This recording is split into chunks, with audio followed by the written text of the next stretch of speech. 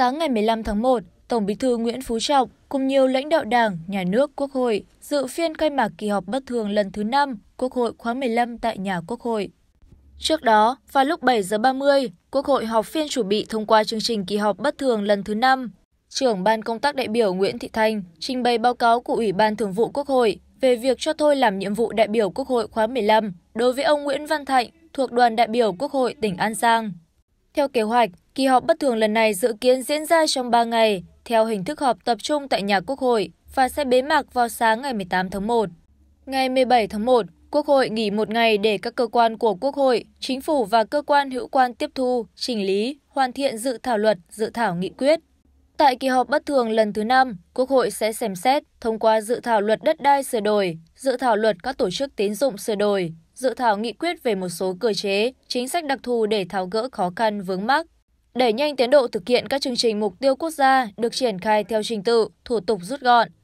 Buổi chiều, Quốc hội nghe báo cáo giải trình, tiếp thu và thảo luận nội dung còn ý kiến khác nhau của dự thảo luật các tổ chức tín dụng sửa đổi trước khi cơ quan trình và thẩm tra phối hợp giải trình làm rõ. Bên cạnh đó, Quốc hội cũng sẽ xem xét và bổ sung kế hoạch đầu tư công trung hạn vốn ngân sách trung ương giai đoạn 2021 đến 2025 từ nguồn dự phòng chung tương ứng với nguồn tăng thu ngân sách trung ương năm 2022 cho các nhiệm vụ. Dự án đầu tư công và bổ sung kế hoạch đầu tư công trung hạn cho Tập đoàn Điện lực Việt Nam từ nguồn dự phòng của kế hoạch đầu tư công trung hạn.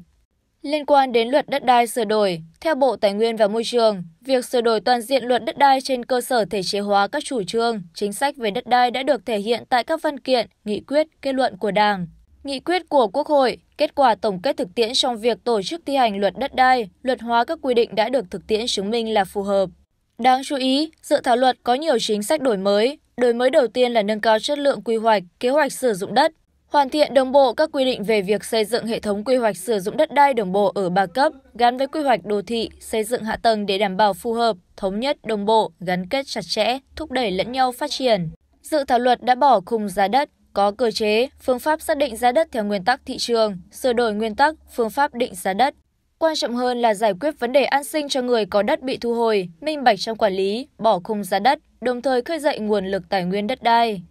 Thứ trưởng Bộ Tài nguyên và Môi trường cho biết,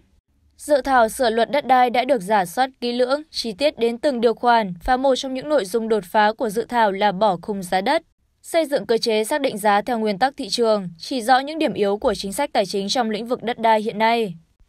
Được biết, chính sách hiện nay chưa khuyến khích sử dụng đất tiết kiệm, hiệu quả và bền vững, các phương pháp định giá, đấu giá đất vẫn còn bất cập, chưa phù hợp với thực tế. Giá đất được xác định thường thấp hơn so với giá đất trên thị trường. Đồng thời, chính sách cũng chưa xử lý triệt đề tình trạng tranh lệch giá đất giáp danh giữa các địa phương, đặc biệt là chưa có chế tài xử lý hành vi sai phạm trong xác định giá đất và đấu giá đất. Về vấn đề thu hồi đất, tại dự thảo luật đất đai sửa đổi trình Quốc hội tại kỳ họp thứ 6 lần này, đã bổ sung thêm một khoản quy định đối với các trường hợp thu hồi đất để thực hiện các dự án, công trình vì lợi ích quốc gia, công cộng. Không thuộc các trường hợp mà luật này đã quy định thì Quốc hội sửa đổi, bổ sung về các trường hợp thu hồi đất của luật này theo trình tự, thủ tục rút gọn. Như vậy, sẽ bao quát đầy đủ các trường hợp sẽ phát sinh từ thực tiễn mà vẫn đảm bảo được luật định theo quy định của hiến pháp. Sự thảo luật đất đai sửa đổi đã có những chỉnh lý nhằm làm rõ trường hợp nhà nước thực hiện thu hồi đất, đặc biệt là đối với các trường hợp thu hồi đất để phát triển kinh tế xã hội vì lợi ích quốc gia công cộng. Quy định thu hồi đất được thiết kế thành 32 khoản cụ thể hóa các công trình theo từng lĩnh vực được ưu đãi, khuyến khích phát triển tương ứng với các luật chuyên ngành. Bao gồm thu hồi đất, xây dựng công trình giao thông, thủy lợi, cấp nước, thoát nước, xử lý chất thải rắn, năng lượng chiếu sáng công cộng, khu phi thuế quan trọng, khu kinh tế. Với trường hợp thu hồi đất để thực hiện dự án nhà ở thương mại, dự án hỗn hợp nhà ở và kinh doanh thương mại dịch vụ, cơ quan soạn thảo đã hết sức lưu tâm đến các quy định đảm bảo thực hiện chủ trương của Đảng tại Nghị quyết 18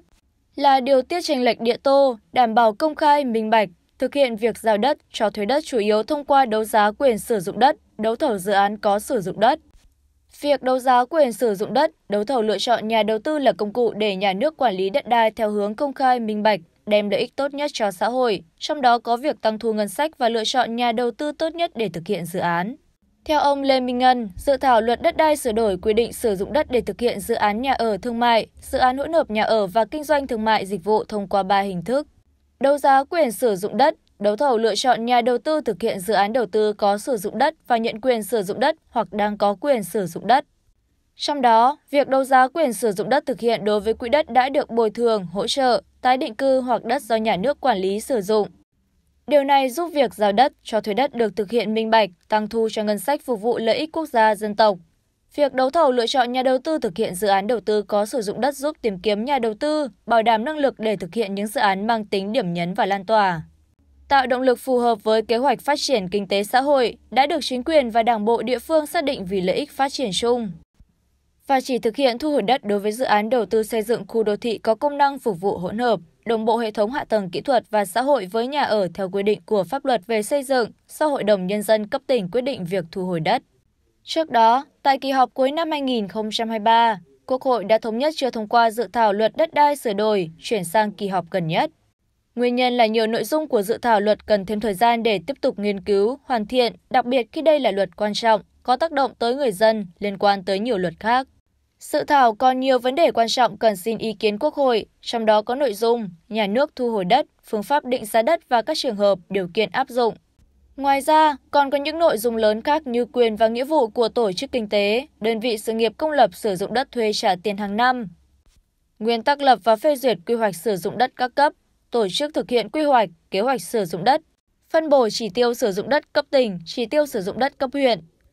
về dự án luật các tổ chức tín dụng sửa đổi, trong bài phát biểu khai mạc phiên họp của Chủ tịch Quốc hội Vương Đình Huệ cho biết, dự án luật có nhiều nội dung chuyên sâu, có tác động trực tiếp đến chính sách tài chính tiền tệ, ổn định kinh tế vĩ mô. Do đó, cần nghiên cứu thận trọng, toàn diện, góp ý và hoàn thiện xem xét biểu quyết thông qua dự thảo luật đáp ứng được yêu cầu thực tiễn.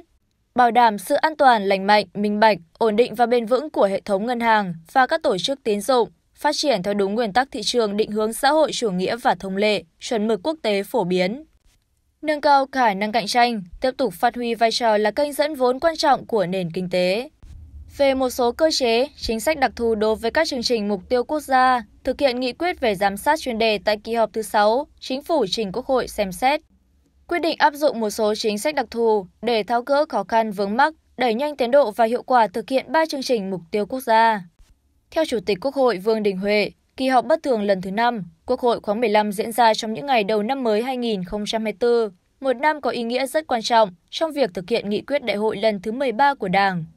và kế hoạch phát triển kinh tế, xã hội 5 năm từ năm 2021 đến năm 2025 và hướng tới đại hội 14 của Đảng. Những nội dung được Quốc hội quyết định tại kỳ họp này có ý nghĩa rất quan trọng, không chỉ đối với việc thực hiện kế hoạch phát triển kinh tế xã hội của năm 2024, và cả nhiệm kỳ mà còn có ý nghĩa căn cơ, chiến lược lâu dài.